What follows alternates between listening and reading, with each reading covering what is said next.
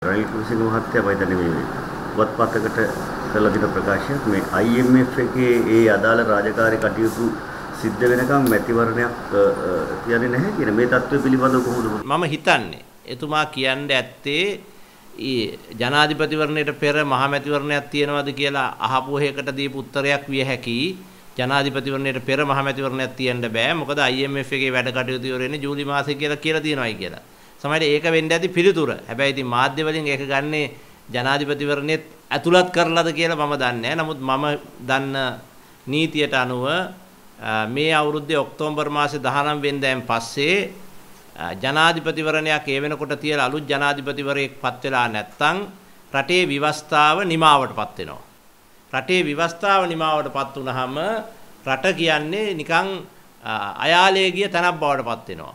වික්‍රමසිංහ මහත්තයාට ඒ වාගේ වික්‍රමයක් කරන්න මේ රටේ ජනතාව ඉඩ දෙයි කියලා මම විශ්වාස කරන්නේ නැහැ. ජනාධිපතිවරණය අනිවාර්යෙන් පවතිනවා.